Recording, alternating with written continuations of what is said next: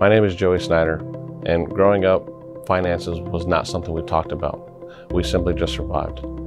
I know firsthand what it's like to not have a financial plan. And now, as an independent financial planner at Northstar, I work exclusively with physicians, dentists, and veterinarians to help them protect, develop, and implement a financial plan that will hopefully not only be successful, but even more so build generational wealth.